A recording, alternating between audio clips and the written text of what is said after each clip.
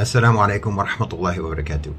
Uh, in this video, I'm going to watch an interview with uh, Shadi Hamdi, who I guess is a journalist or political commentator, editor of, a, of an online journal, and so on. Uh, he's being interviewed on the Thinking Muslim YouTube channel, and the topic is Saudi Arabia and Mohammed bin Salman. This may be a long video because I'm going to actually go through it. It's an hour and a half interview, and I'm going to go through the whole thing and respond to, to various points, inshallah. Okay, so in the first few minutes, uh, he's talking about sort of the domestic political situation in Saudi Arabia that bin Salman uh, inherited and how to consolidate his power as the crown prince and de facto ruler of Saudi Arabia. I think this is more or less accurate. He talks about uh, bin Salman needing to implement certain economic policies that may be unwelcome by the Saudi population. I'm not sure if that's accurate. The question is in the context of allowing uh, certain entertainment activities in Saudi Arabia that Muslims worldwide find offensive, uh, raves in the desert and uh, concerts and whatnot, saying that this is a sort of a trade off where bin Salman is telling the Saudi population, I'm going to have to do policies uh, domestically that you may dislike, but on the upside, you'll get to watch uh, Beyonce. Giving people, you know, opportunities to to dance and have fun and whatnot uh, can distract them and depoliticize them. That's that's a general policy that, that governments would take. That's more or less accurate, but I don't know if it's specifically because he wants to stifle criticism or opposition to particular policies. I think he would just like to be left alone uh, to rule the country the way he sees fit, and he would like the people, the population, to be distracted with other things. Okay, there's a couple of things here. He says that uh, one of the reasons that bin Salman is providing these entertainment activities for the population is because he's afraid of a backlash. He's afraid of a backlash from the population against the policies that he needs to implement, that Shadi believes he needs to implement. And he mentions the Arab Spring. The idea being that there might be a kind of an Islamist backlash against the policies, or anyway, a popular backlash against the policies. Uh, but then he says that bin Salman is part of the MBC generation. In other words, the generation that was influenced by the uh, broadcasting of Western films and uh, television programs on the cable channel. And if bin Salman is from the MBC generation and is highly influenced by MBC, then so is the population of Saudi Arabia. If they are inclined towards the same things that uh, MBS is inclined towards, then I'm not sure what would be the basis for a backlash. If Mohammed bin Salman is part of the um, MBC generation, well, so are most of the Saudis. So they would be on the same page with regards to what they want to see happen in Saudi Arabia. Then he goes on to talk about that this is, again, some, some sort of a trade-off uh, whereby bin Salman is saying, I will give you, you know, these activities, these frivolities, uh, and you will agree to not want civil engagement, to not want to have a voice in policy, to not want to have a voice in the government, and, so, and, and so on and so forth. Uh, when did the population have civil engagement in Saudi Arabia? Is this a new phenomenon that uh, Mohammed bin Salman is introducing to Saudi Arabia that was previously uh, democratic with a dynamic civil society that uh, had a lot of say in policymaking? No, this is nothing new. So I don't I don't think that this trade-off is even necessary. I think he's closer to the truth in saying that MBS and the majority of the population in Saudi Arabia are what he refers to as the MBC generation. In other words, they are less inclined towards the rigid Wahhabi Salafi uh, madhab and the imposition of uh, very strict interpretation of Islam uh, that the previous regimes in Saudi Arabia have uh, imposed. So I think bin Salman and the population are more likely on the same page uh, in this regard. And it's not so much that he's sort of bribing the population to not be political. I think that they generally wouldn't be anyway. Because what what's their heritage of political activism? It's not much. The jailing of sheikhs, the jailing of scholars, the jailing of khatibs, uh, the jailing of activists, is not an innovation by uh, Mohammed bin Salman. This is something that we've always seen in Saudi Arabia and in the Emirates and in the Arab world and on earth. I don't think it's fair to attribute this as some sort of unique quality of uh, Mohammed bin Salman's regime. He's talking about the fact that um, people who are criticizing uh, bin Salman sponsoring these entertainment activities, uh, people who criticize that also criticize the very rigid interpretation of Islam that uh, Saudi Arabia has imposed for the last several decades. So that weakens their ability to criticize bin Salman because, after all, you also don't agree with this very rigid Wahhabism, uh, Salafism, whatever you want to call it. Now I'm doing the other thing. I'm doing something else. I'm opening it up to other more liberal uh, types of activities, and you're criticizing that. Do you are you therefore advocating this very radical uh, and rigid Salafism that you yourself have criticized? Okay, that's that's a valid point, but also it's it's actually a valid point. Bin Salman, by what he's doing, because again, if we're talking about the MBC generation, the, the population is tired of this very rigid uh, interpretation of Islam. Bin Salman is tired of this very rigid interpretation of Islam. And he views it as holding the country back and holding the population back. And I think he has a point. This is, uh, in my view, in my opinion, this is his thinking. He has to do something to conclusively, to decisively castrate the power of the religious institutions that enforce this very rigid interpretation of Islam. So he has a concert, so he has a rave. So he opens it up to these types of activities to show you don't have power anymore. And I don't see that that would cause a backlash among a population whom he's describing as the MBC generation. I see this as uh, Mohammed bin Salman reading the room and understanding that his people uh, are tired of this rigid interpretation of Islam uh, whatever you may think about it, the population has been living with it for decades, and they're tired of having a mutawwa come to them with a big beard and, and telling them that they are uh, fasiq and that they're, you know, committing shirk or something because of the length of their trousers and so on. And we all know from our own life experience and our own interactions with people who are indoctrinated through that system of very rigid Wahhabism that it creates human bots. It creates people who cannot process information properly, who can't process information correctly, who can't think critically, who can't be objective in uh, the way they interact with the world, who are highly, highly ideological, rigid in their thinking, robotic in their understanding of things. And they, they, they operate like a kind of um, cheap AI where there's just sort of pattern recognition. They see certain things, they hear certain words, there's certain red flags for them, and then they just jump to this isn't Islam, this isn't true Islam, this isn't proper, this is yours, your aqidah is wrong, and so on and so on and so on. They have an extremely narrow understanding of the religion, and that narrow understanding often translates into a very narrow understanding of the world because you have become accustomed to viewing the world in very simplistic terms. And you have become accustomed to not thinking for yourself. You've, you've become accustomed to being spoon fed what to believe, what to think. Uh, and very often, what you are being spoon fed to think and believe is incredibly simplistic. And there's no room for complexity or nuance. There's no room for it. And then you go out into the world and you approach the world with the same mindset and obviously that's that's going to be holding you back as a population, as an individual, and as a nation. So I think that bin Salman uh, has identified I need to decisively restrict the power and influence of these institutions and this ideology. And he's doing it in a rather dramatic and we can agree relatively distasteful way. But there's but but there's a method to it. There's a reason for it. It's because it has to be a decisive and conclusive emasculation of the power of these institutions.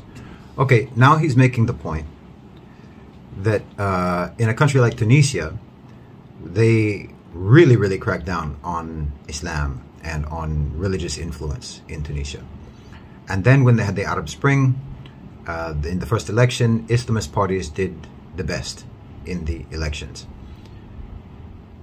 but at the same time, he's suggesting that what bin Salman is doing uh, is endangering the religion among the population, and that the people are in danger of, you know, being misguided and becoming deviant and uh, becoming irreligious and so on. But he's contradicting that by talking about how that doesn't work. The people, turns out, Muslims don't need to have the religion imposed upon them. They don't need to have the government enforce religion upon them. They are religious because they believe in Allah. They're religious because they are Muslims and being Muslim matters to them. So he's making he, he's he's contradicting his own argument that bin Salman is endangering religion in Saudi Arabia while pointing to the fact that when the government in Tunisia cracked down on Islamic uh, influences in the society, it had no impact on the sentiments of the population. And it would be the same in Saudi Arabia as it would be anywhere else because Muslims are not religious because it is enforced by the government. It's enforced by their heart, it's enforced by their conscience, it's enforced by their iman. And iman can't be legislated by the government or enforced by the government. Well. So I'd be wary in terms of saying that the youth are celebrating it. I think there are a lot of people perhaps who are going to these parties and the raves and the like. But I think there are more people in Saudi who are very worried, very uncomfortable with what is taking place. And the proof is that bin Salman believes that to implement them, he needs to imprison people. To implement them, he must crack down on the population. Okay, this is uh, a bit dishonest in my opinion. He's not cracking down on the population, he's cracking down on dissent, which is not new. And again, he's sort of contradicting what he said earlier in that we're talking about, as he said, the MBC generation and saying that they're not necessarily on board with what bin Salman is doing, but if they're the MBC generation, then they would be. And also, he's pointing to Tunisia, uh, where having beaches and having parties and having raves and having um, concerts did not dampen the religious sentiment of the population. So, where exactly is the danger here? His position is a bit muddled here, I think, because he's arguing that cracking down on religious authorities and religious influence doesn't change the religious sentiments of the population. And he's also arguing that in Saudi Arabia, opening up uh, entertainment opportunities and activities and so on doesn't change the religious sentiment of the population. So, what's the danger? Bin Salman is jailing people because he's afraid of a backlash, not from the population. He's afraid of a backlash from the religious authorities, from the religious institutions, from precisely that segment in Saudi Arabia whom he is trying to restrict in their influence. Not the population. The population, if if what he said earlier is to be believed, are the MBC generation who are fed up from the the, the rigid, gruff, harsh uh, mutawwa who is telling them do this, do that, and so on. He, he gave a quote once to the Los Angeles Times in which he said, the Saudis are voting with their feet suggesting they're going to, the, to these raves and their parties. If that was the case, the, the prisons would not be full. And I think that is one of the greatest indications to suggest. The, the prisons aren't full of people who didn't want to go to a rave. That's not what the prisons are full of in Saudi Arabia. The prisons aren't full of people who didn't want to go see Mariah Carey. The prisons are full of people who are criticizing bin Salman and accusing him of being uh, too liberal or being too Western or of de Islamizing uh, Saudi Arabia. That's who is being persecuted in Saudi Arabia. The people who represent the vested interests of the Wahhabi, Salafi religious institutions and authorities whom bin Salman is trying to restrict in their influence. No government, even if they call themselves democratic, no government wants the participation of the population in policymaking, period. Nobody wants that in who's in power. Everybody in power wants to do things on their own and they want the population to sit down and shut up. And in the Arab world, especially in the Khalij, the rulers have a very paternalistic uh, approach to governance, whereby they see themselves as the father of their country. They see themselves as the father, and the population is the children. And father knows best. You're not supposed to talk. You're not supposed to question dad. You're not supposed to, uh, you know, be a backseat driver and you're just supposed to listen and trust that your father knows what's best for you and he's implementing policies that are for your best interests. That's the way the rulers in the Khalij think. That's the way they have always thought. Uh, that's the way previous regimes in Saudi Arabia thought. Uh, that's the way bin Zayed thinks in UAE. That's the way Mohammed bin Rashid thinks in Dubai. That's the way the ruler in Qatar thinks, in Kuwait, and so on and so on and so on. They all think that way. And if you are critical, you will be shut down. It doesn't matter. This, again, isn't something new to Mohammed bin Salman, and it's a bit disingenuous to pretend that it is. And it's a bit disingenuous to say that the only way that he can impose concerts on Saudi Arabia is by throwing people in jail and, and, and in other words, like threatening them as if if you don't go see Mariah Carey, we're going to put you in jail. Obviously, that's not what's happening. If you say that it's haram for me to do what I'm doing and taqillah and fear Allah and you shouldn't do this and uh, your your regime is invalid because of what you're doing, yeah, you're going to go to jail. And that is the same thing that would have happened in the past. See, and the truth is that the rigid form of Wahhabism, Salafism, again, whatever you want to call it, this rigid interpretation of Islam, that had to be enforced by throwing people in jail. And no tolerance for dissent, no tolerance for alternative opinions, that had to be enforced for decades by severe and harsh persecution in Saudi Arabia. Uh, having concerts does not have to be enforced by imprisonment and persecution. The host brings up a question now at around 20 minutes as to whether or not uh, bin Salman is doing this to placate the West. Okay, I'm not sure what he's going to say, but I will tell you, the West absolutely supported strict Madkhali Wahhabism. Absolutely loves it. It keeps the population busy with checking the, the, the, the length of people's trousers, the length of people's beards, how much of the woman's face is showing, uh, and they're completely depoliticized. There was no ideology Islamically in the Muslim world that was less political, that was more anti-political than the Wahhabism that was enforced by Saudi Arabia for the last several decades. And America loved it. America has been supportive of Saudi Arabia for all these years and supportive of Wahhabism, supportive of Salafism, because it was incredibly useful uh, for the United States. It was the basis for uh, sowing division in the Muslim world. It was the basis for sowing extremism in the Muslim world. It was the basis for creating extremist, militant, radical groups in the Muslim world like ISIS, like Al Qaeda, Daesh, and so on. It was the basis for uh, fueling uh, militancy and uh, jihadi ideology in Syria and elsewhere, all of which is useful for destabilization and disruption by the United States. They do not want to see uh, Wahhabism, Salafism, this very strict anti-political ideology uh, wane in Saudi Arabia. So if you think that uh, bin Salman is doing this to placate the West, it's the opposite. This is the last thing that the West wants to see in Saudi Arabia. No crown prince or king has ever said to an American official, "We need to rein in Islam in Saudi Arabia." Okay, first of all, he just he just gave the quote that bin Salman is supposed to have said to some American official. And then he mischaracterizes the quote.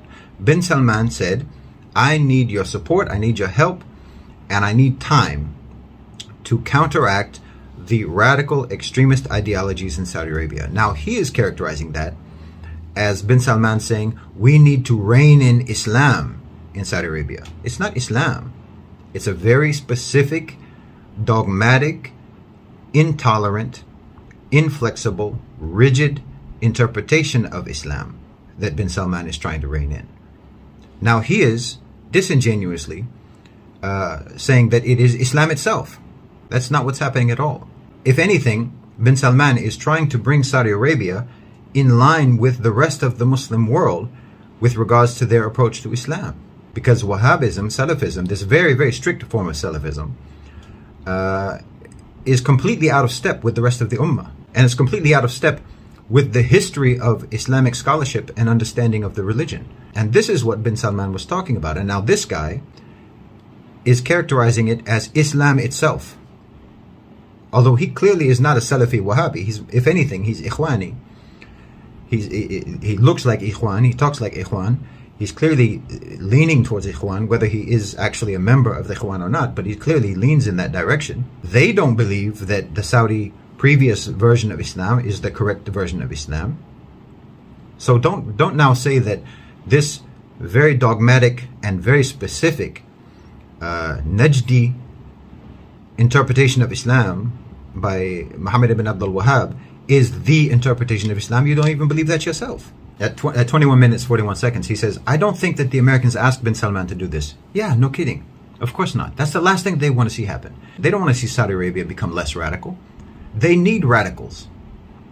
For the last 20 years, they've been in the radical manufacturing business in America. For American foreign policy has been the radical extremist militant manufacturing business. One of their main ideological factories has been Saudi Arabia. They don't want to see it become de-radicalized. Not at all. These Arabs, they don't know how to vote. Bin Zayed says, according to the New York Times article, that if a man stood up in Mecca today and said, I am the Mahdi or I am going to deliver Islam, Bin Zayed said 80% of my army would go and join this man in Mecca. Okay, now, if Muhammad bin Zayed did say that, and he genuinely believes that to be true about his own army, is that not a legitimate concern? Isn't that a legitimate concern? That any any person can stand up in Mecca and say, I'm the Mahdi, and 80% of the army will go and support him? Is that okay? Is that fine? Don't you think that that is an ideological indoctrination that needs to be countered? Don't you think that the people who would go along with something like that need to be better educated, need to have better critical thinking skills, need to have a better grasp of what the religion actually says and what the religion actually is? Or do you think that's fine? When Bin Zayed said that the Arabs don't know how to vote, I don't disagree with him. Why would they? They haven't experienced democracy for decades. Why would they know how to vote? They will support anyone who they think who they see praying. Because yes, the, the, the, the Muslims do care about Islam. They do care about the religion. So yeah, if they see like a Muhammad Mursi, for example, making salah, they'll think, yeah, this is a great guy. It doesn't matter if he has no clue about policy. It doesn't matter. Yes, it's true. Giving free and fair elections, so called, to a population, to an electorate that is that ignorant about policy and that is that emotional in their connection to Islam, that is dangerous. Of course, that's dangerous.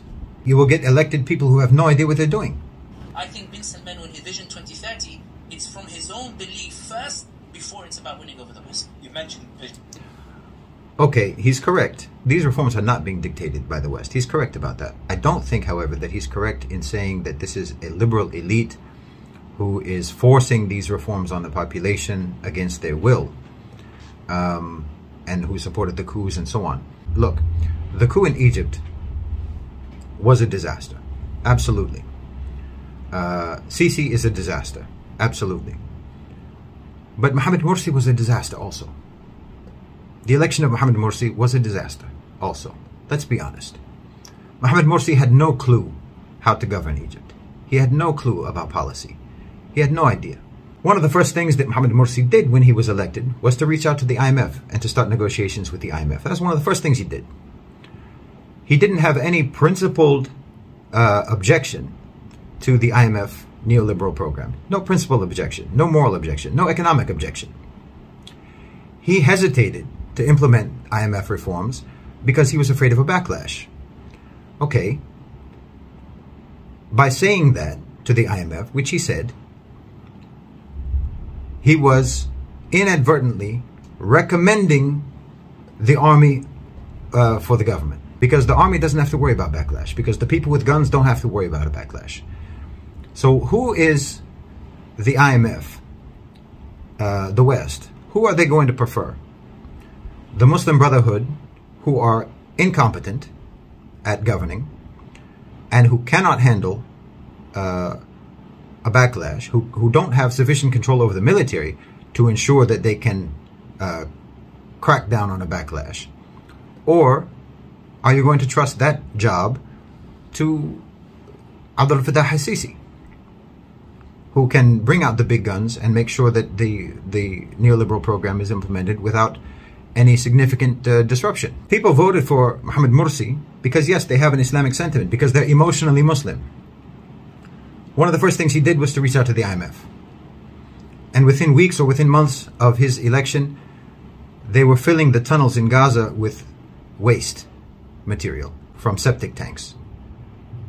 This is your guy. This is your your leader with taqwa because you saw him praying in the uh, presidential palace. And he's filling the tunnels in Gaza, between Egypt and Gaza, with waste. And he's telling the IMF, I will do what you want me to do, but I'm scared of the people.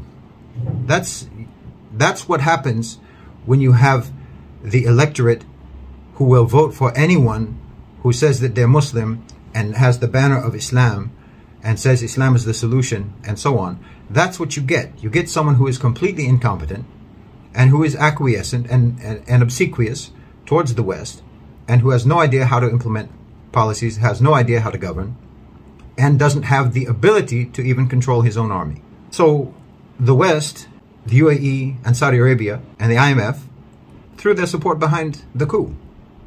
You have to understand how these things actually happened and why. Because yes, the coup was a disaster, but Mohammed Morsi was a disaster, rahimahullah, but is the wrong guy for the job. And the people who have the ability to uh, place the right guy for the job did it. That's all. That to enable the economic innovation, we need to remove the chains of the religious thought.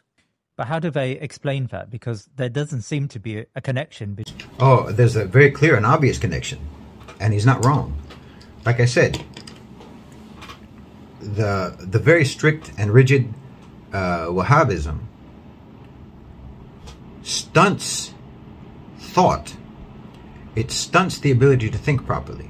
Now, I'm not saying something against uh, Salafism blanket. There's a contingent of incredibly uh, intelligent, educated, uh, nuanced thinkers within the Salafis. However, they are not representative of Salafism and Wahhabism generally.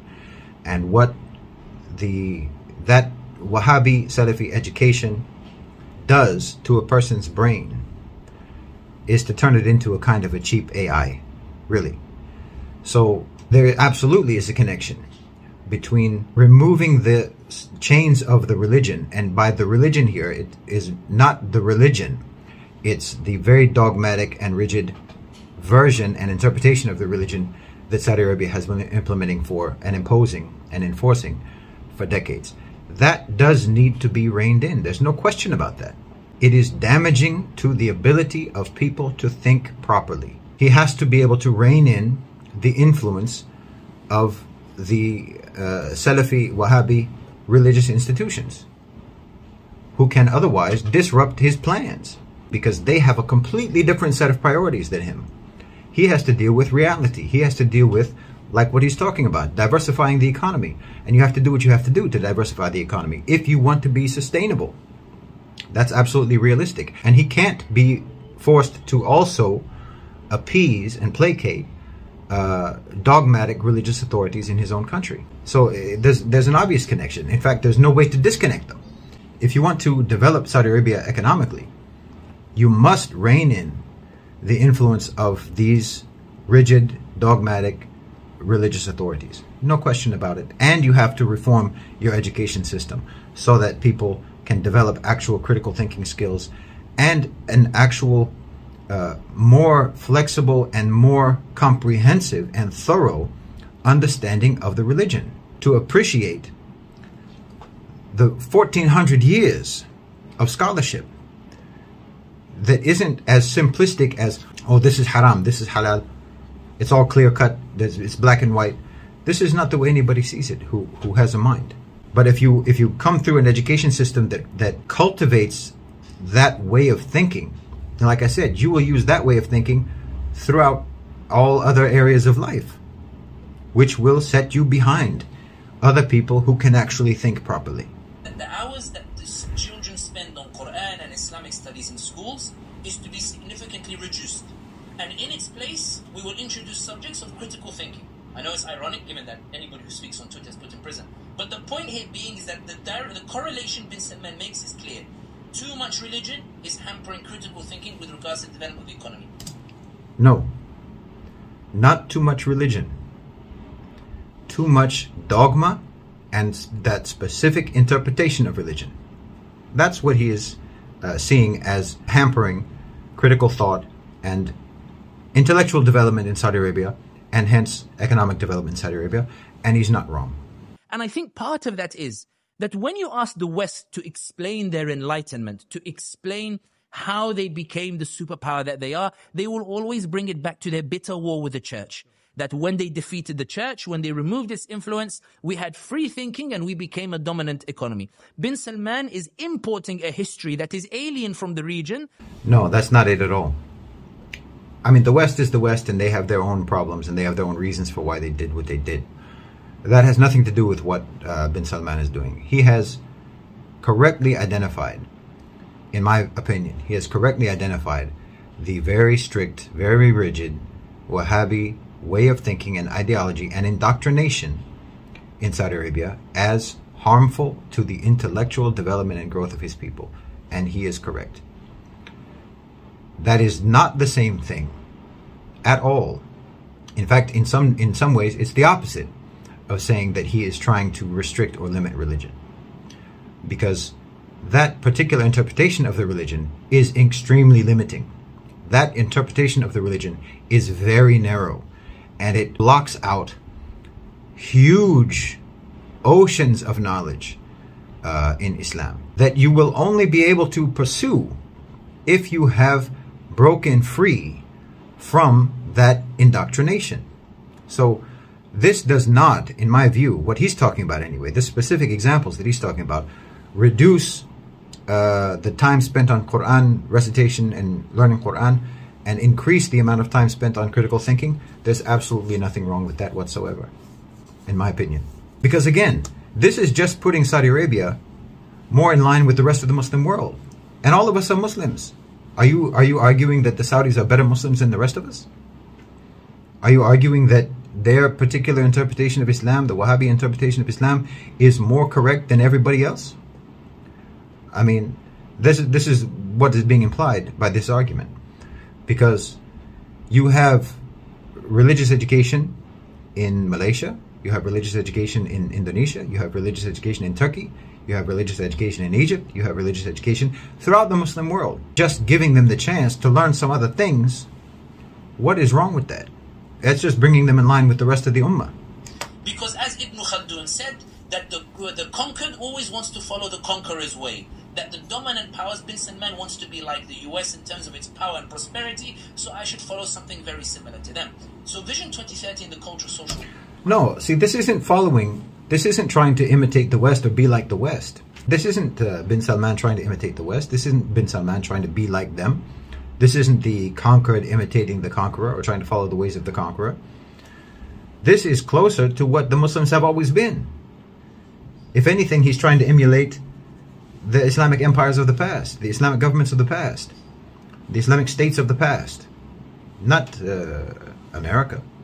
Why would you think that? That's a very biased uh, take, in my opinion, that he knows will appeal to Muslim audiences, even though it's a kind of a cognitive dissonance because if you're a Muslim and you come from the Muslim world, you know that where you grew up, it wasn't like that. You know that where you grew up, you learned other things too. And you're Muslim and you care about the deen and you practice the deen and you also pursue other things in your life. And you try, and your nation tries to develop economically.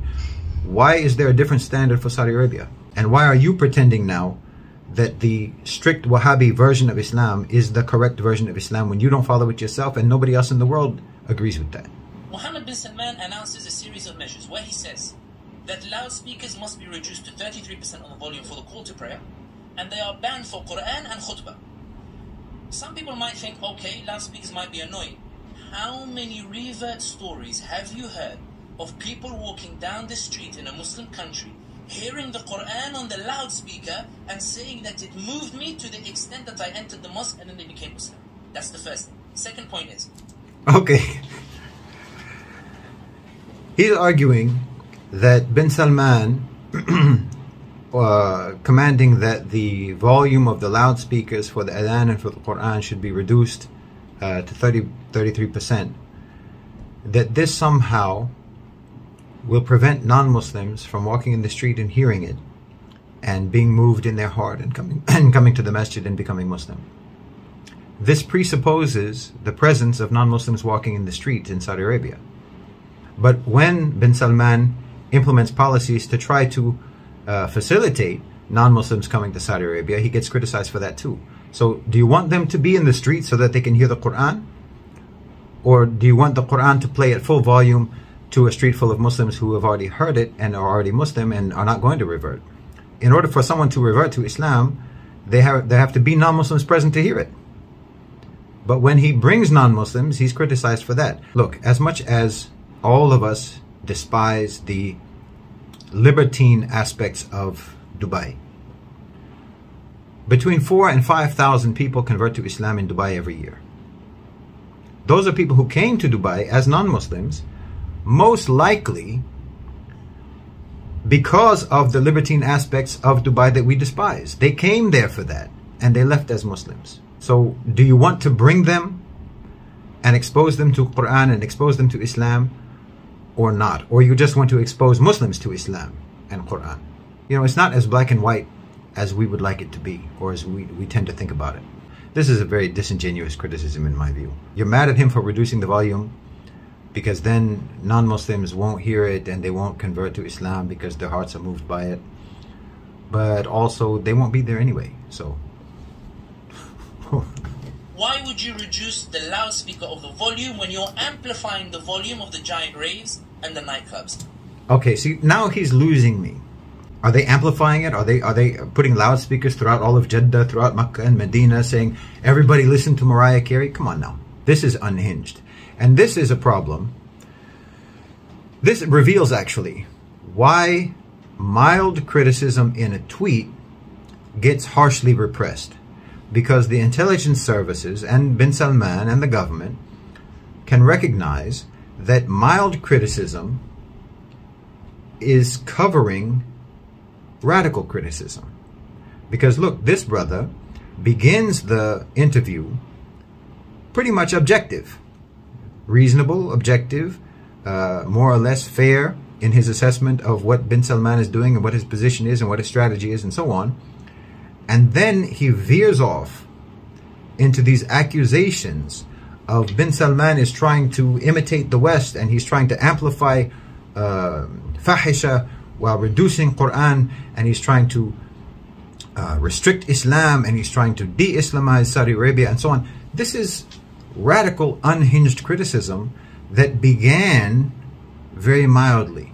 So the Saudi authorities are going to see any tweet that appears to be a very timid uh, criticism uh, or nasiha of the government, and they will understand, okay, what's actually beneath that is a radical criticism that is, you know, on the verge of being takfiri. Because now you're, you're saying that bin Salman is aggressively trying to uh, limit the influence of Islam itself, the religion itself, while simultaneously promoting uh, fisq and fahisha. This is a radical criticism. This is not fair. Because what, what, he's, what he's allowing in Saudi Arabia is allowed in every Muslim country except like Afghanistan. It's allowed in every Muslim country. Are we all in, in every Muslim country in the world? Are we less Muslim somehow? This is demagoguery, what he's doing now. He's not putting loudspeakers blasting Mariah Carey in the Kaaba. If you had the choice to give your money to the Imam of the mosque or to Mohammed bin Salman who tried to bring Nicki Minaj to Saudi Arabia, where would you prefer to give your money to? Okay, this brother is really losing me because his criticisms now about like the the Ramadan rules uh, are very very biased. I don't see anything wrong with the rules that he has mentioned, and I, I certainly don't see anything unusual about the rules that he has mentioned. Now he's saying something that is just really, really uh, blatantly uh, manipulative, uh, demagogic rhetoric. Who would you rather give your charity to? To the Imam of the Masjid or to Mohammed bin Salman who wants to bring Nicki Minaj? That's not the choice. That's not what's being offered here. Who would you rather give the charity, your, your charity to, your sadaqah to, your zakat to? To an unregistered charity that has not been checked by the government to see to ensure that the money actually goes where it's supposed to go, or to a charity that has been registered and checked by the government to make sure that the money goes where it's supposed to go? That's the actual question. And this is, again, not an unusual practice. This is the same thing that they have in UAE and in many other countries. That if you want to uh, give sadaqah, you have to give sadaqah to charities that are approved by the government. That part of this has to do with money laundering. Part of this has to do with terrorist financing. And this is an issue in the Gulf. You don't want to give your money to an individual or, or an organization who may misuse that money for illegal purposes or who may just eat the money. So, uh, charities have to register with the government and be uh, reviewed by the government and be audited by the government. And they conclude that these are legitimate charities that are not engaged in money laundering or terrorist financing. And now you can you are approved to to give to these charities. I don't. What's the problem with that exactly? He's trying to pose it as you're giving the money to Mohammed bin Salman himself. That's not what's happening. That's a dishonest characterization of this policy. And that's the reason why in these rules, you see the de-Islamization being pushed. One of the rules was, do not bring your kids to the mosque because they disturb the worshippers. So bin Salman does a giant rave at the gates of Mecca in Jeddah. People are doing Umrah less than one hour away. He brings Pitbull and whoever in giant raves, etc. And he wants to tell you, I don't want to disturb the worshippers. Okay, see this guy, again, he's gone from being an objective analyst of what bin Salman is doing or trying to do uh, he's gone from that to being sort of an ideological uh, rhetorician. He's doing this. He's he's he's banning Quran. He's banning children from the masjid, and he's on the gates of Mecca. He's having a concert with Pitbull and Nicki Minaj and whoever else, and then claiming that he doesn't want to disturb the worshippers. Can you hear when you're making Umrah? Can you hear what people are doing? In Jeddah at the rave? Can you hear that? This is this is dishonest. I don't I don't see anything that he's mentioned so far, and you can watch it yourself.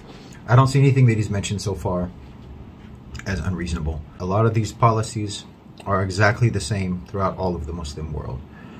But he is he has an axe to grind. Clearly, he's got a grudge against Saudi Arabia and against uh, MBS. And I'm guessing that it's because he is inclined towards the Ikhwan. Allahu Alam. But I'm guessing that it's because he has leanings towards the Muslim Brotherhood.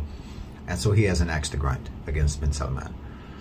Um, and he keeps he, he, he keeps referring to uh, bin Salman's effort to limit and restrict the influence of Wahhabi Salafi religious institutions in Saudi Arabia as de-Islamization, which means that he subscribes to the idea that that particular dogma, that particular interpretation of Islam is the correct and only interpretation of Islam, and that if you restrict that particular interpretation, you are restricting the religion itself, which obviously he doesn't believe. He's not a Wahhabi, he's not a Salafi, that's not what he subscribes to.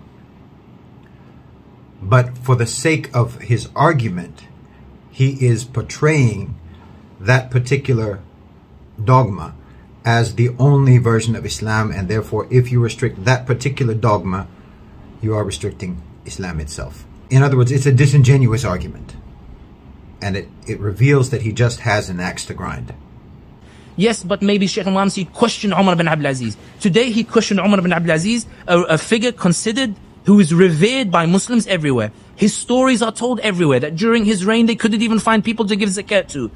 If it's Umar bin Abdul Aziz today, tomorrow it will be Uthman bin Affan.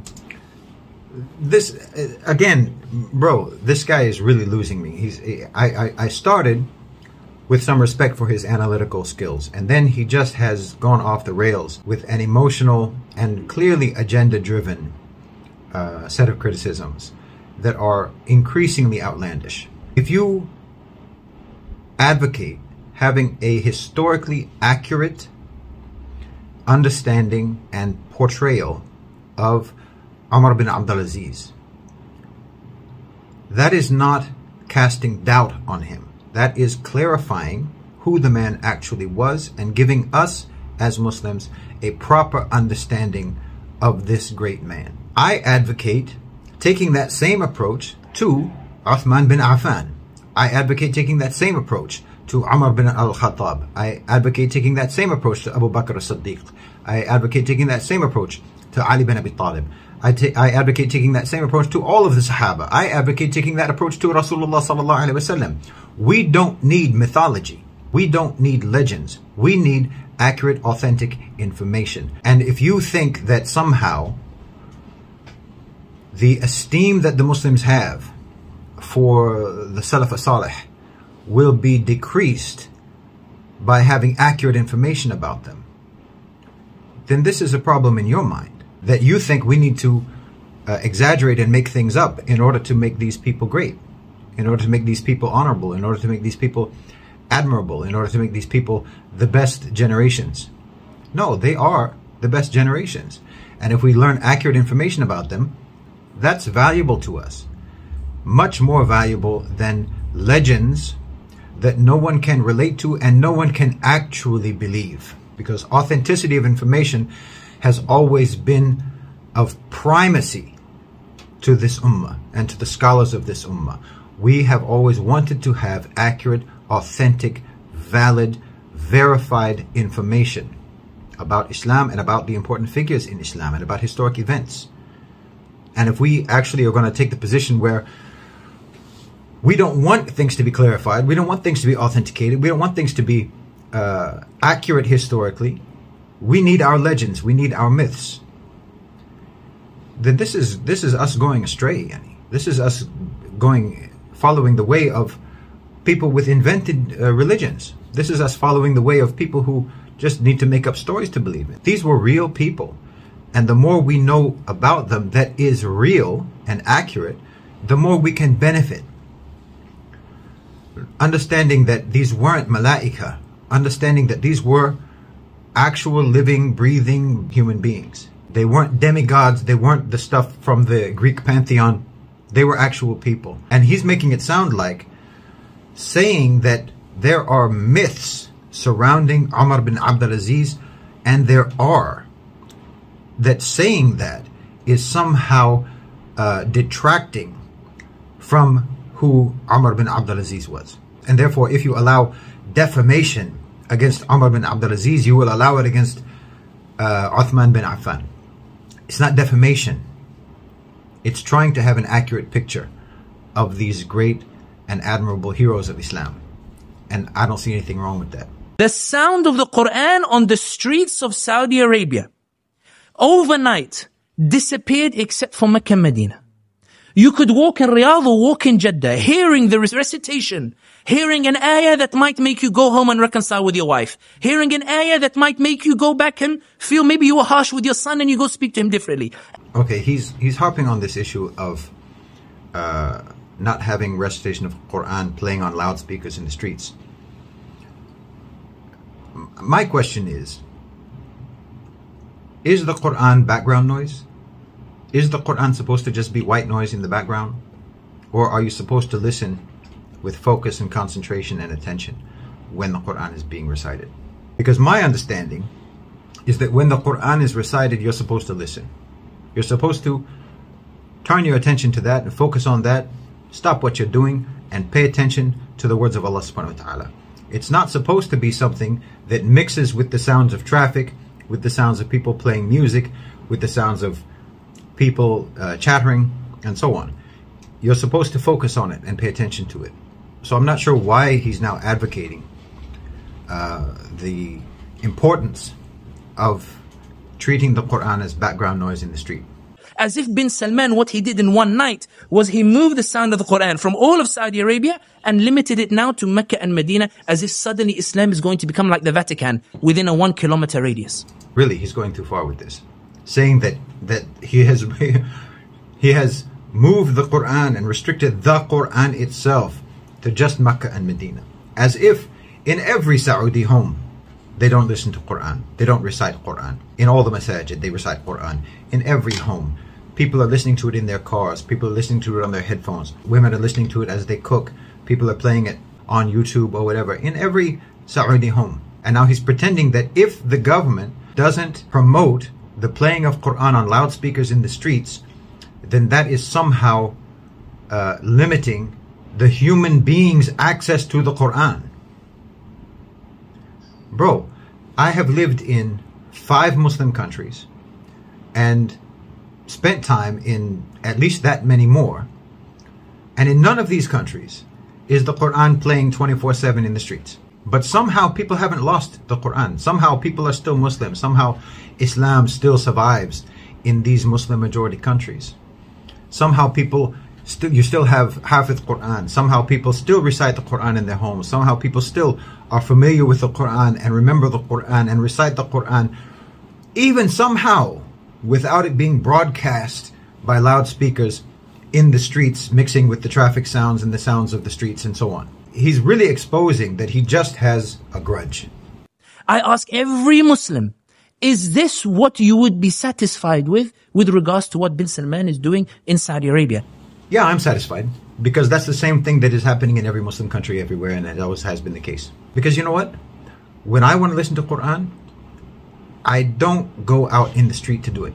Allah has ordered every human being to enjoin what is good and forbid what is evil. You don't need an intercessor to tell you that you should be enjoining good and forbidding evil. In other words, that rebellion against oppression and that which is wrong is something that every single human being is capable of by virtue of what Allah has said in the Quran. That's the terrifying thing about Islam. That there is no, you don't have to wait for a priest or the like. That you can go to social media and denounce what an authoritarian person is doing. And that Islam evokes such resonance amongst the population that all it takes is for a random individual to say ittaqillah and the whole population will say ittaqillah with him. That's what's terrifying about Islam for Muhammad bin Salman or for the authoritarianism. Okay, there's there's so many things wrong with what he just said. I'm not really sure where to start. He's advocating the idea that anybody can just spout off as they like, which is the thinking of the people who rose up against Uthman bin Affan. This is not Islamic thinking. It's not upon every individual to declare what is right and what is wrong. This is, again, something I've talked about before. Even if the government are oppressors, even if the government deserves, Islamically, according to Sharia, to be overthrown, that process must be undertaken by the Ahl al-Hal wal-Aqd of the society, not the general population. Because when it's undertaken by the general population, that inevitably just becomes chaos. So even if you're talking about rising up against the government, it's not a general uprising. It is a movement by the Ahl al-Hal wal-Aqd in the society to unseat that government. Islam does not approve of open rebellion and open revolution, popular revolution. This is not something that we advocate or endorse or approve in Islam because it always leads to chaos. Not to mention the fact that the dogmatic version of Islam that bin Salman is restricting in Saudi Arabia is precisely that dogmatic version of Islam that completely prohibits any criticism of the ruler and promotes blind obedience and loyalty to the government. That's the version of Islam that bin Salman is restricting in Saudi Arabia. The very strict Wahhabi, Madkhali, Salafi version of Islam that they have had in Saudi Arabia for decades has been one that completely bars people from having political opinion or political participation or having anything to say whatsoever about or certainly not against the government. That's the version of Islam that bin Salman is trying to rein in. So again, there's just contradictions in what he's saying, which indicates that he has veered away from objective analysis and he is motivated by a personal uh, sentiment or personal grudge or has a personal axe to grind against uh, Mohammed bin Salman or against Saudi Arabia.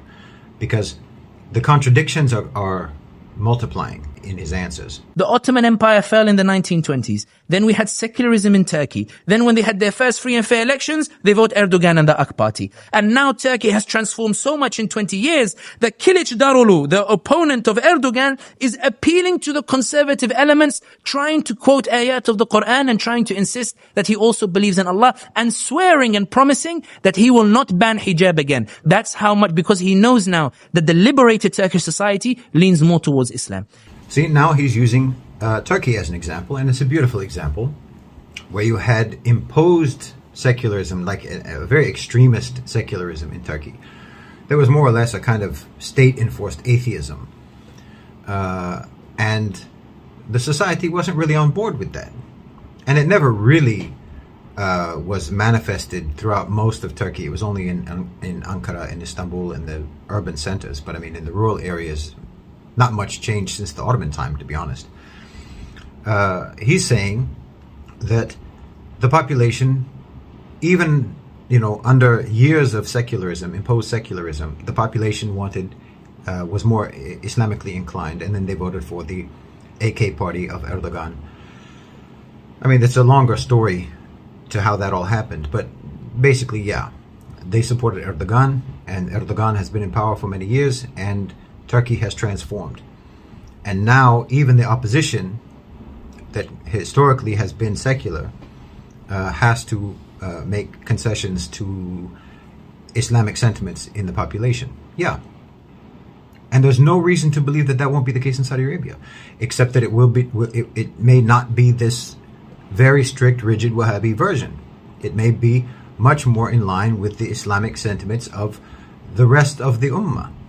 There's no reason to believe that the measures that Mohammed bin Salman is taking are going to somehow misguide or alienate the population from Islam. That's ridiculous because people don't follow Islam because the government tells them to. I was in Egypt 2013, covering the elections before Morsi was elected. I went from Iskandariya in the north all the way down, Luxor, El and, and past it. I went to Sohag. There's a big agriculture, it's a big agricultural area. It's a city and there's an agricultural area. And I'm speaking to local farmers. And I say to them, انتم حتصوتوا لمين? Who will you vote for? نحن هنصوتوا المرسي. We will vote for Morsi. طب ليه? What is it about his program, his political economic program that pleases you, etc.? The guy goes, listen, I don't care about no political no economic program. احنا عايزين واحد يخاف ربنا. We want somebody who fears Allah. And I said, but surely that can't be enough. Like, you need to look at what he's going to offer you. Sami, if he fears Allah, Allah will open the heavens for him. Okay, see, he's not wrong in what he's saying here. He's not wrong in saying that there are many Muslims among the potential electorate in Muslim countries who feel this way. And that is terrifying. That's absolutely terrifying. If you think that the requirement for a politician is that he has taqwa and that's it, and you don't have to look at his policies, which is what they did with Mursi and the Ikhwan in Egypt, because they had no idea how to govern. No idea. I haven't come across any political party that is as incompetent, as naive, as gullible, and as self-confident as the Ikhwan. The level of self-confidence and self-assurance that they have is so inflated beyond their competency level. It's stunning. And yes, you had many people who thought, oh, well, Mursi is a, he has a beard, you know, he recites Quran, he prays. Khalas, yani, that's, that's enough. This is a disaster. If you elect people on that basis, you will elect incompetent and very often you will you will elect grifters who know perfectly well that the emotionally Muslim electorate doesn't know anything about politics and will just trust anyone who says, I will implement La ilaha illallah Muhammad Rasulullah, whatever that means. They will support you. You'll get their money, you'll get their vote, you'll get the power, and then you will deliver your country into worse subjugation than it has ever seen because you have no idea how to govern. You have no idea how to protect the sovereignty of your of your country. You have no idea what policies to implement, and very oftentimes you don't care. The Muslim Brotherhood is economically neoliberal, not because they even understand what neoliberalism is. It's because they know that power, Western power, is economically neoliberal. And they think if we read the script, we'll get the part. If we can read the script, we'll get the role. But what they miss is the fact that, yeah, you have to know the part. You have to be able to read the script. You have to believe in the script. You have to understand the script and you have to be able to implement it. And you don't have the ability to implement because you don't even understand how government works. You don't even understand how politics works, actually, as much as you think you do. You don't actually understand. And so, no, competency does matter. And of course, taqwa matters, but that's not the qualification. This goes back to the uh, quote of uh, Mohammed bin Zayed saying that the Arabs, the Muslims, don't know how to vote. They'll vote for anybody who looks religious, who just uses religious rhetoric. And that person who uses religious rhetoric could be an American agent, could be a Western agent. And whether they're a Western agent or not, if they're stupid and incompetent, they will reach the same outcome as if they were an American agent. So it doesn't ultimately matter whether or not they are literally paid by the United States, by the CIA, by the National Endowment for Democracy, or not. If they don't know how to govern, they will be governed by those who do know how to govern externally, meaning the West, meaning the United States. He's actually just validating the opinion of Mohammed bin Zayed and Mohammed bin Salman without even knowing it. Which also makes me think that he must be Ikhwan because he is kind of oblivious. People, when they land in Jeddah airport now, if you notice, it's all women at the passport checkout, which I have nothing against. But what I'm asking is this, is the emancipation of women that they stamp passports in the airport. But the point is, bin Salman is doing it to make a sign so that when they land in Jeddah, Muslims, they see the airport is no longer for them to welcome them for Umrah. The airport is now to welcome non-Muslims to come to Saudi Arabia. Because Saudi Arabia, bin Salman wants to make it open for non-Muslims, not necessarily for Muslims. Just like I said, if Mohammed bin Salman does things to bring non-Muslims to Saudi Arabia, he gets criticized for that. Why don't you just turn it around on what you just said earlier about uh, non-Muslims hearing the Quran in the street and that touching their heart and then becoming Muslim? Why don't you use that same thinking for non-Muslims coming to Saudi Arabia and seeing hijabi Muslimas at the uh, immigration counter and realizing immediately, oh, everything that I always thought about Muslim oppression of women was wrong and it, it opens their mind and makes them start thinking and then they convert. Why don't you think about that as a possibility? Because it doesn't serve your agenda of saying that Mohammed bin Salman wants to close Saudi Arabia to the Muslims and open it up to non-Muslims. This is uh, extremely biased. It's extremely biased. I'm disappointed because this it, it started out well and then he just completely went off the rails.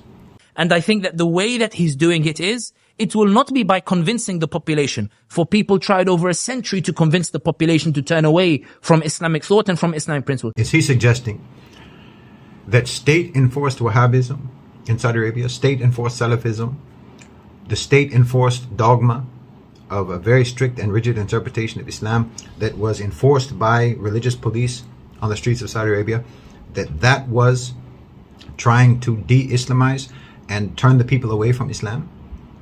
Because he just said that Mohammed bin Salman won't try to turn the people away from Islam because that's been tried. In Saudi Arabia, that was tried, really? Was it? Have they been trying to turn the people away from Islam for the last several decades in Saudi Arabia? Really? And again, his whole argument is based on uh, conflating that particular rigid, closed, narrow version of Islam, that particular narrow version and interpretation of Islam as the correct and only interpretation of the religion, which again, he doesn't believe. So this is a disingenuous argument, showing again that he just has an axe to grind. It won't be through coaxing the population. It will be through coercion and the raves and the like. And to finish on this particular point, the raves and the, and, and, and, and the other concerts and nightclubs that he's implementing is merely a decoration of the prison that he intends for the Saudi citizens. It's for the Saudis to say, yes, I have no civil rights. I have no civil participation. When bin Salman's man comes to take my land and my house and he demands it as part of Vision 2030, I have no rights to resist him. I should be kicked out of my home, but I can go and party tonight in Jeddah. The government in Saudi Arabia and the governments throughout the Khalij have always been able to seize your land. They've always been able to take your land and take your property. They've always had the right to do that. They've always had the, the power to do that. They've always had the impunity to do that. They can do that in Egypt. They can do that wherever they want. That's a power that the government possesses. And when you say that bin Salman is restricting civil engagement or restricting the voice of the people with regards to uh, policy decisions in Saudi Arabia, it's as if they used to have civil engagement. It's as if they used to have a voice in policy making. The only ones, the only voices that used to have uh, a voice in policy making, whose voice is being restricted now, are the strict, dogmatic, Wahhabi, Salafi religious institutions and, and individuals whom bin Salman correctly believes were a hindrance to the development of Saudi Arabia. And yes, individuals who express, as he's mentioned in tweets or online or whatever, perhaps mild criticism or mild dissent against the government, but whom, because of people like him, the security services, the intelligence services, and bin Salman himself have come to suspect that the mild criticism covers radical criticism, that the mild, uh, moderate dissent is just camouflage for a radical, unhinged, uh, almost takfiri criticism of the government that views the government as invalid and trying to de-Islamize as what he's saying. It's because of people like this, with all due respect, it's because of people like this who immediately approach you as objective, cool-headed, moderate, uh, analytical minds. They approach you this way. And then during the course of the conversation, you discover, oh, he's loopy. Oh, actually, he's loopy. Who doesn't care about the good of society, who just has a very ideological agenda without regard to all of the objective analytical things that he said at the beginning. That was just the Trojan horse in the conversation to draw me into thinking this person was a logical, reasonable person who could make sense. And then further into the conversation, he launches off the rails into talking about the dark, sinister, nefarious plans of bin Salman to remove Islam from Saudi Arabia, except for Mecca and Medina, and to close Saudi Arabia to the Muslims and open it only to the non-Muslims, and to uh, turn Saudi Arabia into a giant beach party. Okay. That's unhinged. You're not healthy. And so it's it's precisely because of people like this. It's precisely because of uh, this transformation that can happen in the course of a conversation with someone that has made the intelligence and security services and bin Salman distrust and suspect even mild criticism. The summit was clear. We are going to challenge Saudi Arabia's leadership of the Muslim world. We're not happy with what bin Salman is doing. Bin Salman panicked to the extent that he calls Imran Khan and he said, who's prime minister at the time, and says to him, Wallahi la ilaha illahu. If you go to this Kuala Lumpur summit, I will withdraw my investments from Pakistan and the Pakistanis who live here sending remittances, I'll kick them out and send them back to Pakistan. Imran Khan pulls out. He calls Joko Widodo, the president of Indonesia. Wallahi la ilaha illahu. If you go to Mahathir Mohamad's Kuala Lumpur summit, I will withdraw the investments that you badly need to build a new capital that you want to move from Jakarta and I will make sure that the Indonesians who work here as maids and as servants, I'll kick them all out and they won't be able to send their remittances. Joko Widodo sends his apologies to Mahathir Mohamad. And Bin Salman succeeds in quashing it. But the, but the point here is this. Bin Salman panicked when the Ummah suddenly gathered to move the center of power from Saudi Arabia to somewhere else. Every video that goes viral that exposes Mohammed bin Salman's policies all the journalists associated with the royal court respond immediately. All the Saudi trolls and Saudi bots respond immediately. And the reason they do so is because they are scared of something. They are scared that public opinion can be channeled into something potent that threatens Mohammed bin Salman. Okay, now he just explained to you, again, why there's repression, particularly online repression. That Mohammed bin Salman has to immediately uh, crush anyone who expresses dissent online because of what this brother just said. It can spread like wildfire among emotionally Muslim people. Muslims who are connected to Islam primarily by emotion, not by knowledge, not by critical thinking, not by intellect. People who don't really know very much about Islam but have an emotional connection to Islam and an emotional uh, uh, basis for their identity as Muslims. Misinformation, disinformation, manipulated information, half truths, exaggerations, propaganda, conspiracy theories spread faster among this segment of the Muslim population than anywhere else. It's the fastest way of spreading information or misinformation is through emotional Muslims. So yeah, Mohammed bin Salman is afraid of that because this is a man who has plans. This is a man who's trying to accomplish something. And he can't deal with the kind of disruption that can be caused by everybody spewing their ideas and their opinions who don't know what they're talking about. I mean, Mohammed bin Salman must feel like a, a dad driving a car and he has a nagging, complaining wife in the back seat who is telling him, you know, she doesn't think he's taking the right road. So he gives her an iPad to play with, to distract her, so he can concentrate on what he's doing, concentrate on getting to his destination. The iPad here is the raves. The iPad here is the concerts. Saying, please, let me drive. I know where I'm going. Just be quiet. Okay? You can think it's right or you can think it's wrong. But that's the thinking here. And it's validated by what this brother is saying. Because he's saying that it can spread like wildfire. When you make an emotional Islamic appeal to people, emotional Muslims will react. Emotional Muslims will explode in passion and sentiment. Not in thought, not in critical analysis, but in emotion. And of course, this is dangerous. This can disrupt plans. And Mohammed bin Salman clearly is a man who has plans, and he's a man who has uh, very important work to do for Saudi Arabia, as as he has acknowledged. There's a lot of things that Mohammed bin Salman has to do to organize the Saudi economy. There's a lot of things he has to do to uh, facilitate the development of Saudi Arabia. There's a lot of things he has to do to uh, expand the sphere of influence of Saudi Arabia and to consolidate their power regionally and around the world. So he can't tolerate noise that could disrupt uh, the implementation of those plans. I don't think that that's difficult to understand. As for the idea, to be honest, I, I, I kind of remember when this happened, but I don't remember all of the details.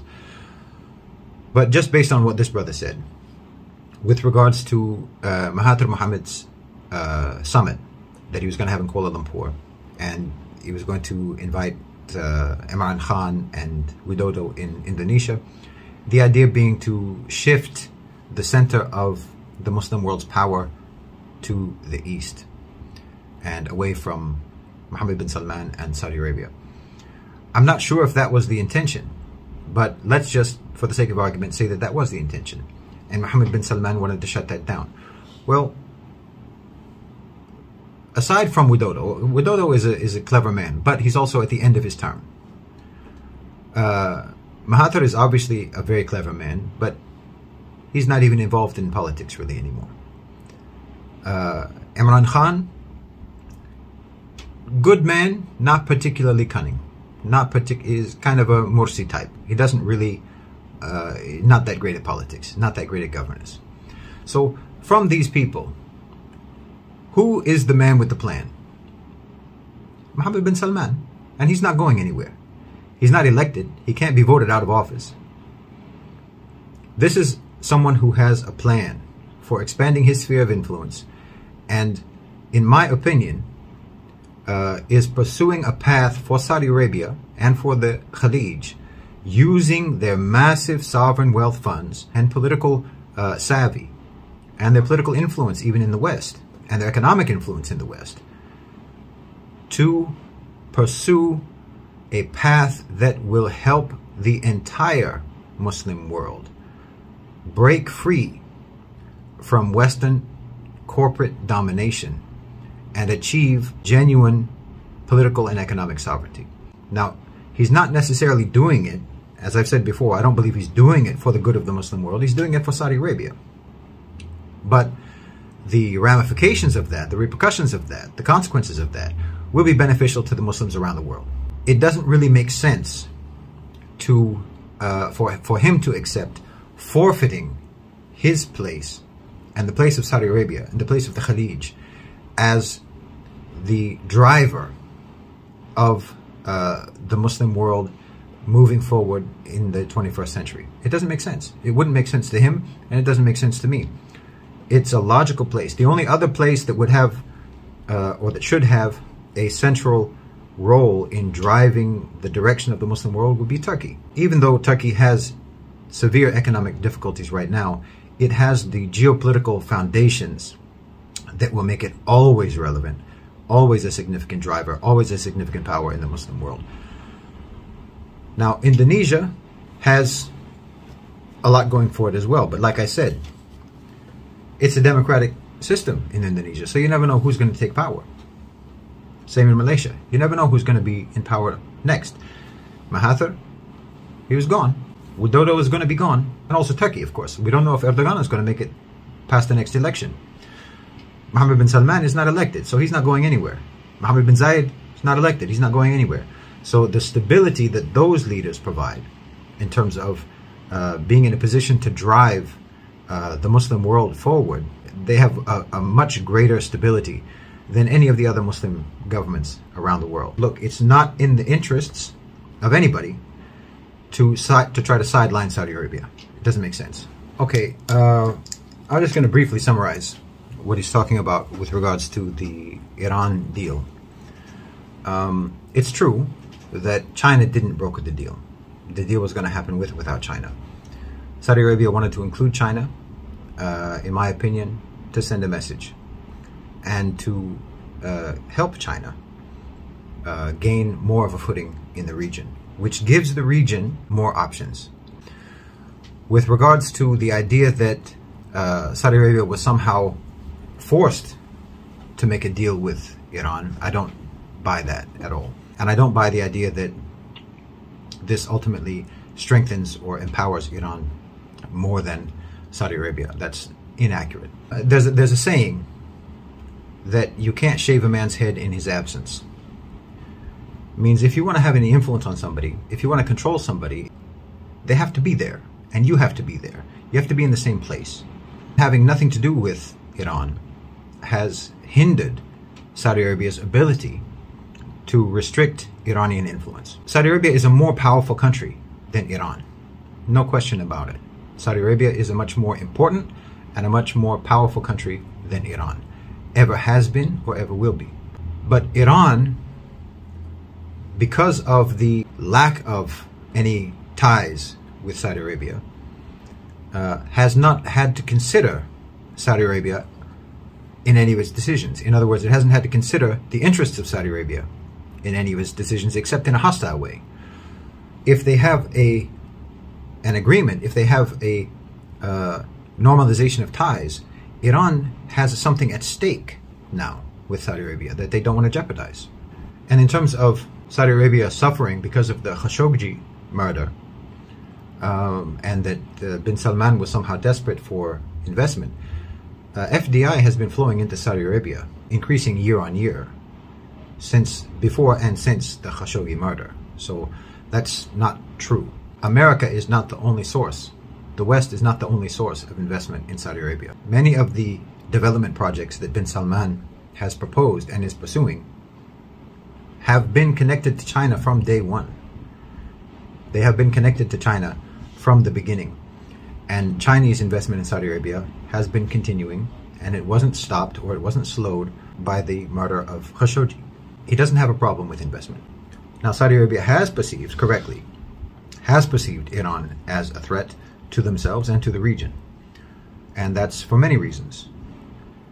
They have behaved in a way that would indicate that they threaten the interests of Saudi Arabia, the interests of the UAE, the interests of the Arab Khalij. And they have been treated accordingly by the Saudis, by the Emiratis, even though the Emiratis have a close relationship with them, even though Qatar has a close relationship with them. By bringing them on board, and in terms of Bashar al Assad in Syria, that was always, he was always going to stay. He was never going to go anywhere anyone anyone who, who legitimately thought that uh, Bashar al-Assad was going to get removed, uh, you were delusional. I said it 10 years ago. Bashar al-Assad is going nowhere. This isn't this isn't something that was unpredictable. I know that it wasn't unpredictable because I predicted it, and I'm not the only one.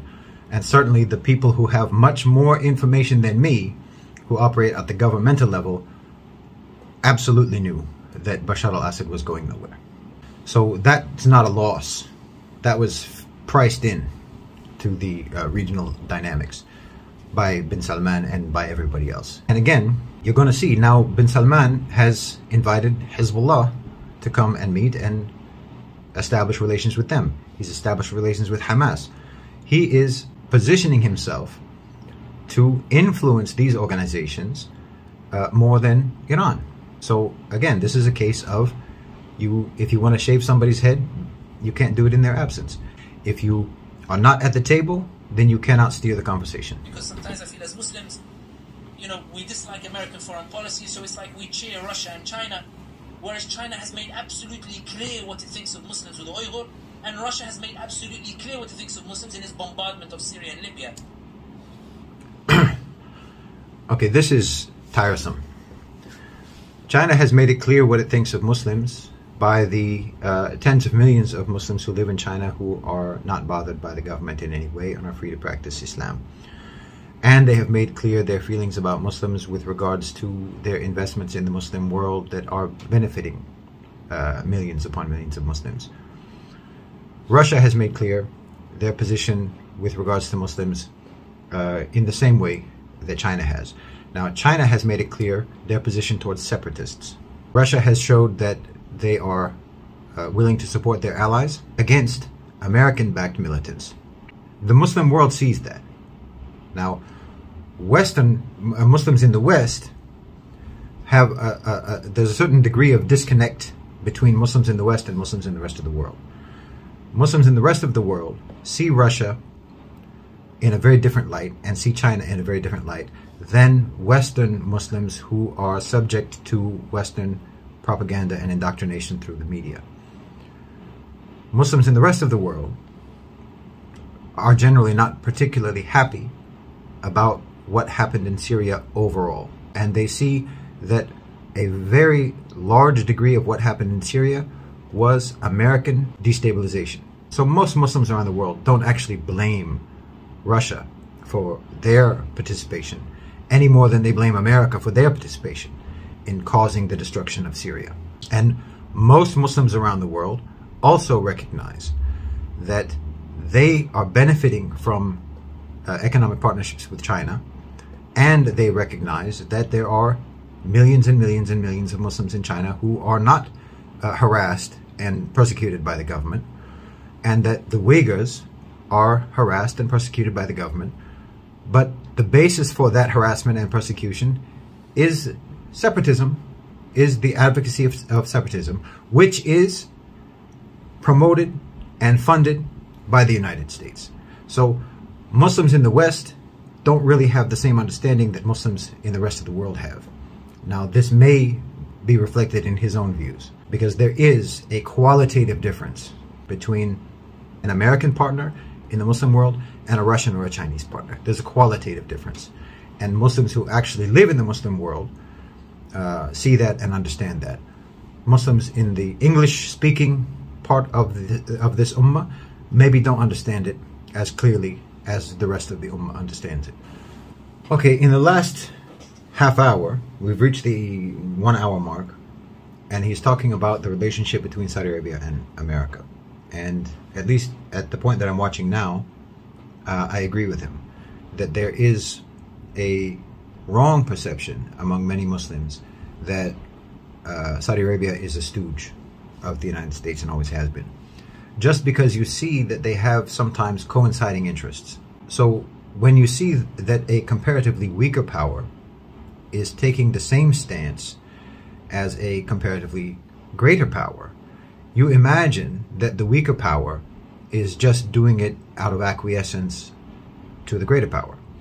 Not necessarily. It could just be, and it is has often been the case with Saudi Arabia, that this just happens to be that their interests coincide. It just happens to be that what was in the interest of America in this particular situation also was in the interest of Saudi Arabia. It wasn't that Saudi Arabia was taking this position specifically because they wanted to appease uh, and acquiesce to the West. It was because it was in their interests. And uh, I think that's that's accurate, and I think that he's correct in saying that Muslims have generally taken a very simplistic and unfair view of the relationship between Saudi Arabia and America. Yeah, now what he's saying about uh, Saddam and uh, Saudi's uh, cooperation with the United States against Saddam is accurate. I remember when Saddam invaded Kuwait, there was a joke that was going around in the Arab world that Saddam had held a press conference and said that he was going to, uh, you know, they were asking him, okay, you've taken now Kuwait, what's next? Yeah, are you gonna he said, I'll take Bahrain. It will take me uh, a week. You'll take uh, Emirat. It will take uh, three days. And I asked him about Qatar, and he said, uh, I'll take Qatar by fax. So there was definitely a sentiment among the Khalij that Saddam had crossed the line. and posed a threat to their own uh, governments.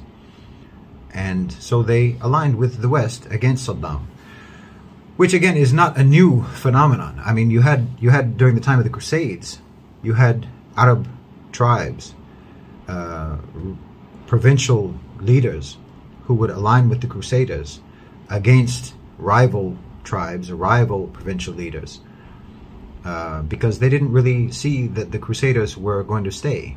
And they thought, well, while they're here, I may as well use them against my enemy. And this way of thinking has continued.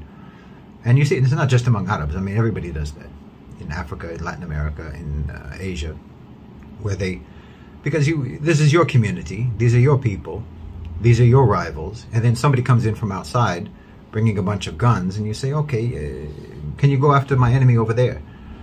Because you're not thinking that he's going to take over everything. You're thinking, well, I can use this person, or I can use this group, or I can use these people, I can use this army against my enemy, and then they'll leave, and then I will take over and inherit what was uh, taken from my enemy. This is a normal human uh, phenomenon, I think. Uh, when and the same thing happened with colonialism, with imperialism. This is an old story. He's saying now that the relationship between America and Saudi Arabia has had ups and downs, and now it's in a down period. This analysis, in my opinion, lacks uh, an awareness that the world, global power dynamics, are undergoing a transition. That the post World War II era is coming to an end and is being dismantled. The system of the post World War II era is being dismantled. And uh, global power dynamics are shifting. Global power dynamics have fundamentally changed over the last uh, 15, 20 years. And the direction that the world is moving is different than it was before.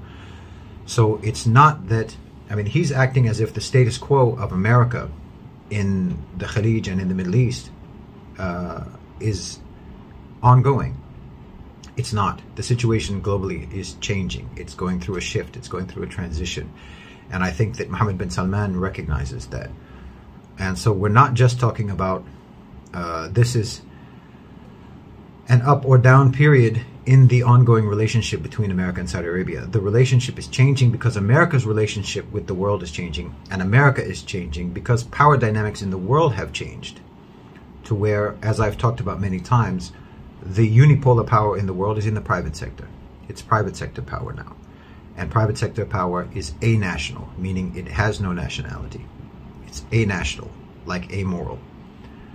Uh, it doesn't belong to any particular country, and it doesn't have any loyalty to any particular country. So this creates opportunities for countries like Saudi Arabia, like the UAE, like Indonesia, like Malaysia, like all of the Muslim world. It creates opportunities as well as risks but the point is, the West is in decline in terms of its importance. It's declining in importance. Europe is declining in importance. Uh, the importance of maintaining specifically American primacy is also declining. America will continue to be important as an instrument of private sector power, but it's not as much in the interests of private sector power to maintain American, specifically American dominance over the world. And I don't think he's factoring that uh, global transition into his analysis. Then I'm going to cancel plans for normalization with Israel because Netanyahu promised me that he would be able to fix my relation with you. He promised me that he would get Congress and White House, and he hasn't. Netanyahu, you promised. You didn't fulfill your promise, so I'm not going to normalize. Okay, now, uh, with regards to uh, potential Saudi normalization with Israel and UAE normalization with Israel, the Abraham Accords, I think that his reading of it is completely off. Uh, he is suggesting that Saudi Arabia is interested in normalization with Israel so that they can repair their relationship with the United States, and so and and the, the UAE uh, agreed to normalization with Israel so that they could have influence in the United States, and they have benefited uh, tremendously uh, by by their normalization with Israel. That it has given them influence in the United States. The idea that Saudi Arabia needs Netanyahu in order for them to gain influence in Washington is patently absurd. Saudi Arabia has always had enormous influence in Washington. the UAE has always had enormous influence in Washington, at least for the last 15, 20 years, uh, increasing year on year. The UAE had enormous influence in Washington prior to the uh, Abraham Accords. That's not something that they need Israel to deliver to them. I think that this brother is is suffering under the um, presumption that many of our Arab brothers are suffering under, which is that Israel has inordinate influence in Washington and that it is the key to power. The Saudis and the Emiratis cracked the code within the last 10, 15 years. Uh, Saudi Arabia a little bit later than the UAE, realizing that the key to power in Washington is money. It's just money. That's it. And they have a lot more money to spend than Israel. And the influence of Israel in Washington is not anywhere near what people think it is. American policy towards Israel has been dictated not by the Israeli lobby, but by more by uh, the defense industry lobbies, the IT industry lobbies. And America's support for Israel for the last 50 years has been what it is because it makes sense for America. Simple. It's a compare. I mean, we talk about how much money they give to Israel, but it's a comparatively small investment relative to the return on that investment. So it, it makes sense for America to support Israel, or has typically. That is declining now. And one of the reasons it's declining is because of normalization. The normalization of relations between the Arab world and Israel will significantly decrease the importance of Israel to the United States. The uh, function of Israel to the United States will be greatly diminished by normalization of relations. So I think that he's completely wrong in thinking that Saudi Arabia was depending on Netanyahu to buy them influence or to gain them access to the White House. When Biden uh, says anything derogatory about Saudi Arabia or any other country, uh, everyone understands that what that is is him asking for a bribe. That's what that is. That's old fashioned Irish politics. You denigrate the person that you want to pay you not to denigrate them. It's, it's that simple. And someone of Mohammed bin Salman's savvy will certainly understand that. And as I've talked about before on this channel, the combined spending of Saudi Arabia and the UAE in political lobbying, campaign donations, and money spent basically to buy influence in Washington uh, is more than is spent by China. And it absolutely eclipses anything spent by the Israeli lobby. So it's not actually accurate at all to say that Saudi Arabia was desperate to find some way to have influence in Washington. They've been having influence in Washington. And he goes on further to say that during the Trump administration, Saudi Arabia was able to get Trump to back down with regards to oil production. Sounds like influence to me. Again, this is an example of uh, his analysis being compromised by many contradictions. And those contradictions, I think, are due to him having an ideological bias. Astaghfirullah illahu. It's a genius strategy. This is an example of bin Salman really demonstrating statesmanship. And this really pains me to say it as given what he's doing in Saudi Arabia, but strictly amoral politics. It's an excellent display of Saudi autonomy and putting Biden in a position where he can't do anything about it. Okay, now I'm happy to hear him say that bin Salman uh, is pursuing a genius strategy because he is. Uh, and I've been saying that now for months. Um, I have a problem with him uh, taking exception to the strategy by calling it amoral. Because, as I talked about in a previous video, if your ultimate outcome, if the ultimate objective is a moral objective, and a good objective that will benefit your people and other people, then what you have to do to achieve that objective is by definition moral in terms of what it achieves. So if he feels, if Mohammed bin Salman feels, and he should, and I, and, and I believe he does, and I believe he's correct to feel this, that he has to limit the influence of rigid, dogmatic, uh, Wahhabi Salafi institutions and individuals in Saudi Arabia in order to achieve uh, greater long term objectives, then there's nothing wrong with him doing that because it's a good thing. And it will benefit Saudi Arabia and it will benefit the Muslims overall. And the truth of the matter is that that particular dogma is damaging and it has been damaging and it has caused a lot of problems for the Muslim world for decades. So I don't agree with him that this is de-Islamization of Saudi Arabia. I don't agree with him that it is amoral. I don't agree with him that it is nefarious and dark and insidious and diabolical and all of these other things that he wants to portray it as. I think that it is practical. I think it's realpolitik, and I think it's correct. And I think that it will achieve ultimate good, positive outcomes for the Muslims, for Saudi Arabia, and for the Ummah overall. Uh, that's it. The last five minutes are pretty good. The last five minutes are fairly hopeful. I, I think there's still some flaws in his analysis.